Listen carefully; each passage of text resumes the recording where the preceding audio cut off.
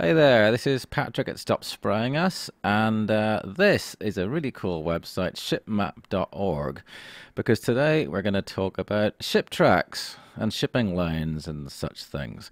Um, you normally see me uh, looking at uh, NASA Worldview.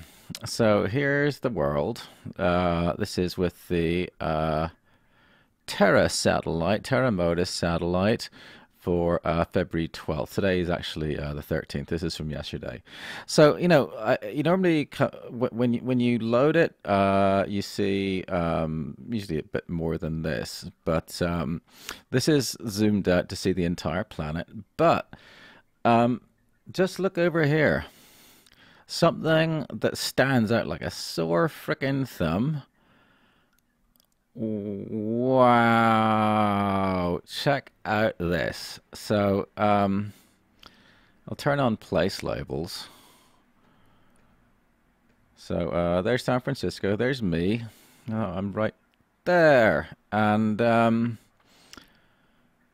look at this. Uh, well, first of all, let's go back.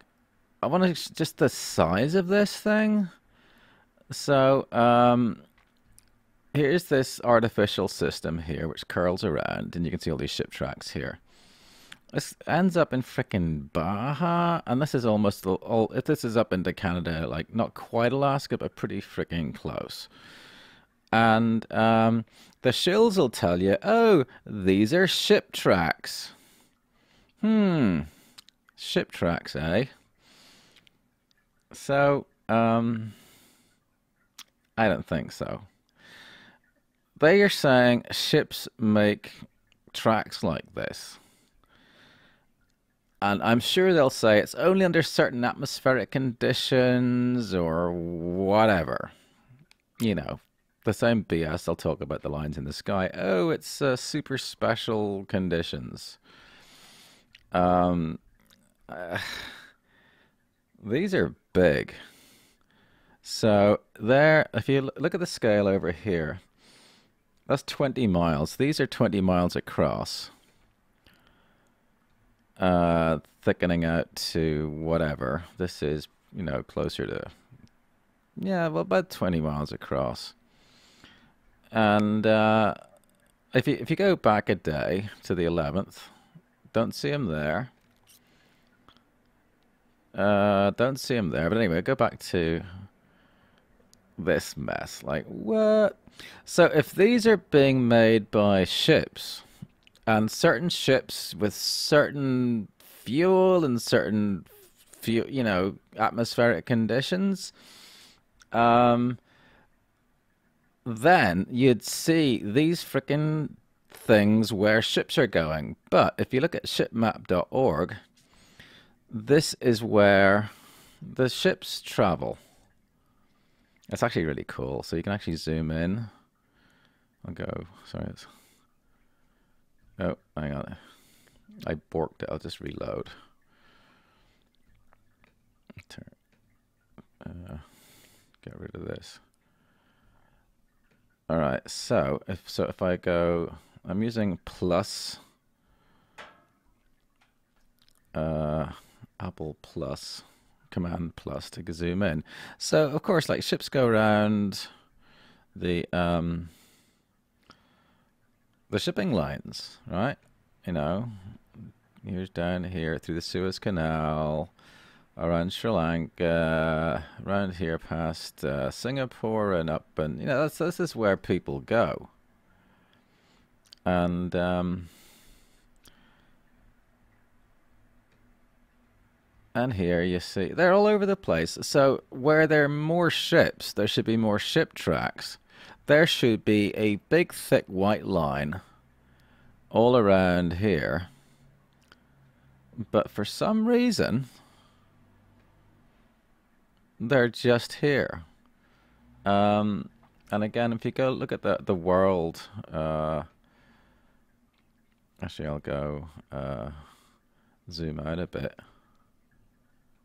where the sh the shipping lines go around here, through there, around here, and there's not a big freaking white, like 20 mile thick lines going through that stuff. So, um, what is this?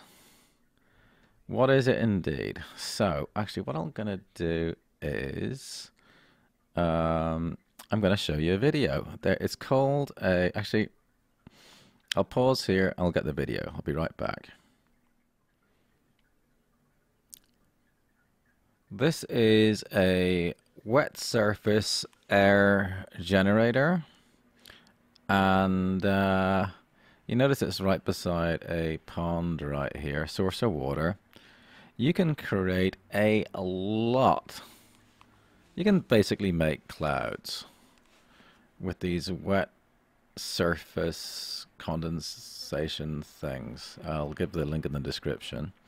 So it's um, you can have these on ships, and they are in water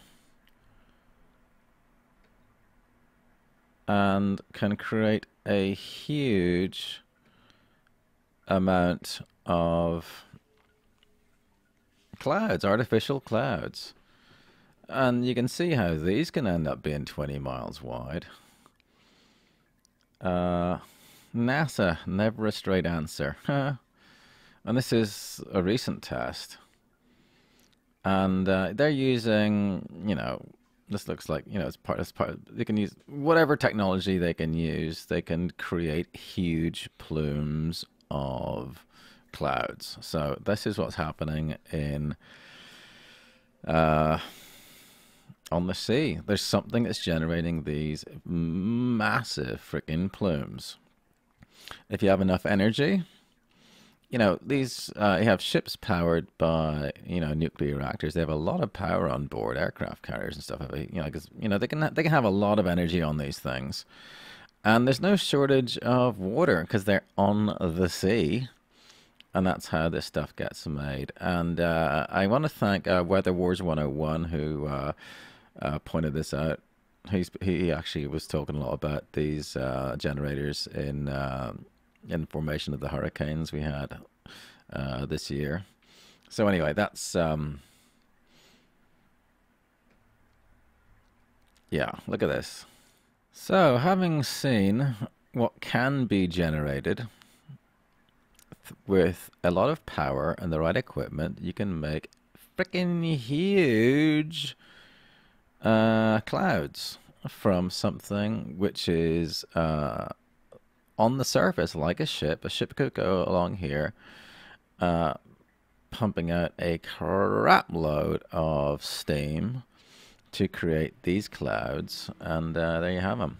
And uh, that's more shenanigans. But actually, while we're here, I um, so that's uh, like I said, I, am I'm, I'm over here. This is me. I we had a a clear day yesterday, but when you go up to uh, like Shasta here, like um, there's Mount Shasta, awesome place. You see the ripples and there's this freaking hole there and there's all kinds of shenanigans and stuff you know it's uh just because you're not getting sprayed directly above doesn't mean you're not getting nailed some other way sad to say so anyway that's your thing so uh links in description to uh the water generator uh to uh the ship track shipmap.org which is really cool. And there's other there's other places you can find this stuff. So, all right, that's all for now, and I shall talk to you soon. Bye for now.